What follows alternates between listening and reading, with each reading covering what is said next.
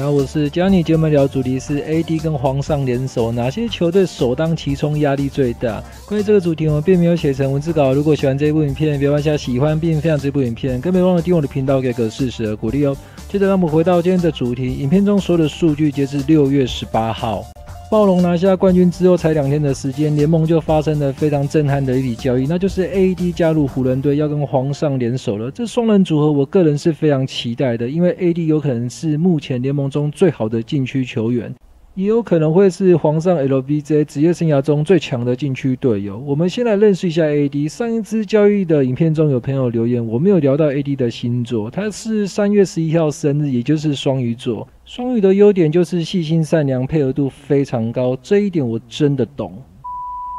AD 职业生涯场均二十三点七分、十点五篮板、二点四火锅、二点一助攻、一点六超球，这是一张非常全面的成绩单。三次入选年度一队，三次入选年度防守一二队，一七至一八赛季 MVP 票选第三名。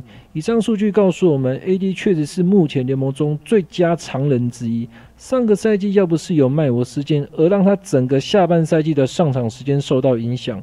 他的数据绝对不止场均二十五点九分、十二篮板而已，也因为这个卖偶事件让他无缘年度前三队的肯定。但反过来说，至少可以确定新赛季 AD 是健康的。至于皇上的职业生涯实在太辉煌了，我们就不多讨论了。但可以确定的是，就算目前湖人暑假功课还没完成，这里指的是其他球员的补强。但光是 LBJ 加 AD 这个组合，我个人认为进季后赛对湖人而言已经不是目标了。现在的目标就是总冠军，因为上个赛季，LBJ 受伤之前，湖人的战绩是二十胜十失败。换句话说，上个赛季只要 LBJ 没有受伤，季后赛应该是没有问题的。现在交易来 AD 之后，目标当然要往上调整。再加上勇士目前因为 K 汤 KD 伤势跟合约的问题，所以新赛季是湖人非常好的机会。接着我们就来聊聊，当 LBJ 跟 AD 这个可怕的组合确定之后，对哪些球队会产生很大的压力？第一支球队是火箭队。去年夏天，火箭的操作非常勇敢，本着一个要 PK 掉勇士的心态在做操作。所以去年夏天留下来的 Chris Paul，因为火箭相信只要 Chris Paul 是健康的，火箭当然有机会可以打败勇士队。整个赛季，火箭在阵容上的调整基本上也都是绕着勇士的阵容来打造，包括季后赛我们也可以看到，火箭放上五小的阵容来跟勇士对决。现在有意思的是，勇士因为 K 汤 KD 伤势跟合约的问题，新赛季还有些状况。但火箭留下 Chris Paul 之后，整个球队的薪资状态是非常不理想的。下个赛季，Chris Paul、James Harden 跟卡佩拉的薪资来到九千两百万上下。整个球队目前有合约在身的只有七人，但团队薪资已经来到一亿两千万。上个赛季打得相当出色的球员，包括 Austin Rivers、House、Sharper、Green 等，合约都到期了，这是火箭很大的麻烦。第二个问题是，刚刚我们聊到，火箭的阵容是针对勇士打造的，也就是针对一到四号位来做补强。实际上守 KD 的球员是 PJ Tucker，但湖人目前 LBJ 加 AD 这个组合战力是在前场跟禁区，这跟勇士的核心在后场是完全不同的概念。火箭薪资已经卡死了，进攻端上就算还是以后场为主，也就是 James Harden 跟 Chris Paul 为主，当然没有问题。但前场跟禁区的防守怎么办？卡佩拉守得住 AD 吗？LBJ 的打法又不同于 KD，KD 是中距离直接打掉，但湖人新教练 Fran Vogel 已经表示了，新赛季会让 LBJ 多持球。这也表示我们会看到更多 LBJ 切进去做分球的画面。换句话说，火箭的前场跟禁区扛得住吗？所以火箭的假想敌从勇士换成湖人，这代表着你的阵容势必要做出调整。但薪资空间卡死的，要怎么做调整？这真的是一个很大的问题。所以现在有消息指出，除了 James Harden 之外，所有的球员都可以做交易。这个事情是火箭要面对的。因为上个赛季没有 PK 掉勇士之后，这代表着薪资压力正式到来，所以火箭绝对是目前联盟中压力最大的球队之一。第二支是雷霆队，去年 LBJ 跟湖人签的是三加一，今年是第二年的。巧的是，Paul George 去年跟雷霆签的也是三加一，今年也是第二年，而且雷霆的薪资压力比火箭更严重。目前有合约在身的球员只有十一位，团队薪资来到一亿四千六百万，但年薪只有一百九十万的挪威尔已经跳出合约了。相对于火箭在阵容上还有很多要补强的状况，这里指的是前场跟禁区。雷霆整个团队阵容是比较整齐的，这是事实。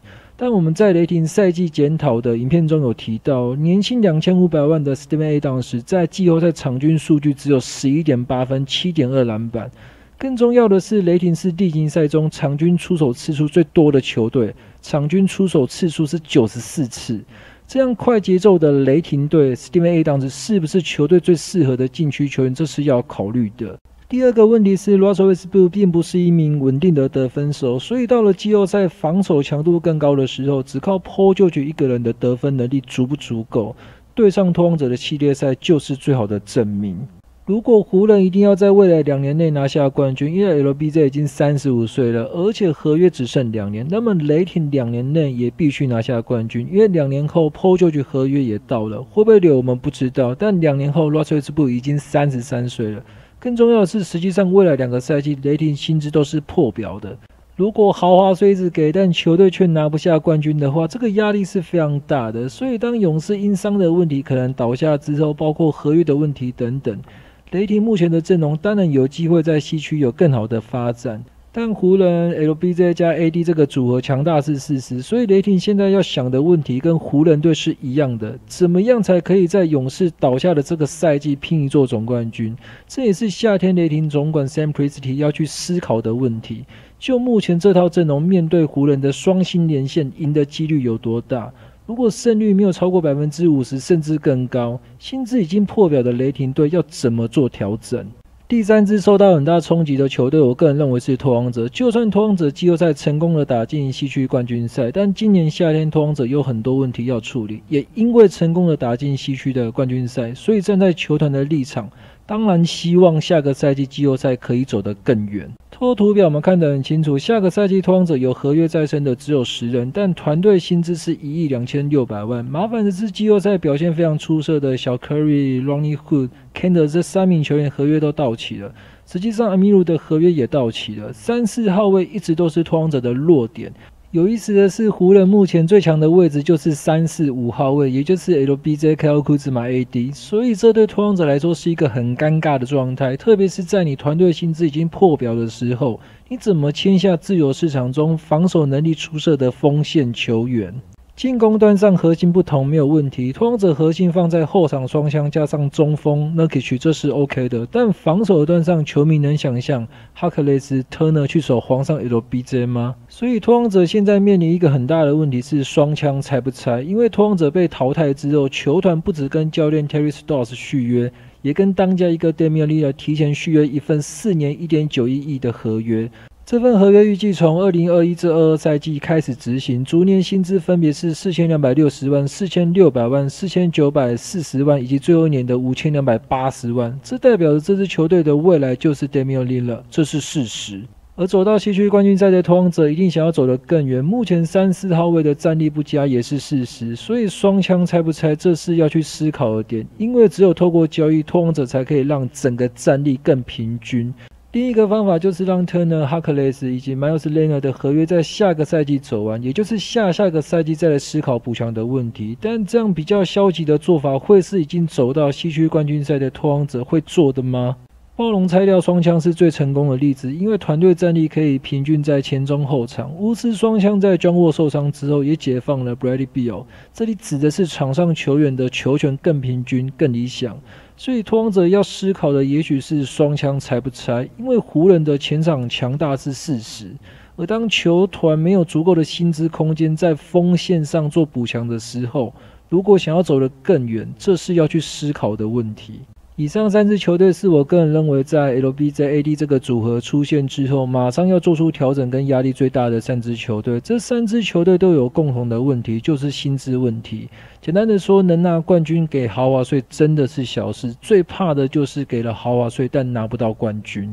在勇士有伤兵问题困扰的时候，很多球队当然都想要在这个时间点拼个总冠军。但勇士跟湖人核心却不同，勇士的强大在于浪花兄弟加 KD，直白的说就是死亡五小，这是一个偏小的阵容。但湖人现在有了 AD 之后，湖人前场的战力会让原本以勇士为假想敌的球队阵容上必须马上做出调整，但以上三支球队都没有薪资空间了，所以如何调整阵容会是夏天球迷可以关注的点。我真的相信今年夏天会很热闹，因为 LBJ 加 AD 这个前场的组合会带给各球队不同于过去勇士队所给的压力。所以当我们在关注湖人其他薪资怎么做补强的时候，我们也要关注其他球队怎么面对这个犯规的前场组合。这会是今年夏天很有意思的地方。至于在你心中有没有哪一支球队也是在 LBJ 加 AD 这个组合出现之后压力非常大的球队呢？欢迎留言告诉我，让我们轻松的聊 NBA 吧。以上就是这节内容，希望这影片你们会喜欢。那今天影片这边结束喽，记得按下喜欢跟分享这部影片，也别忘了订阅我的频道，给个适时的鼓励哦。我是 Johnny，我们下次见，拜拜哦。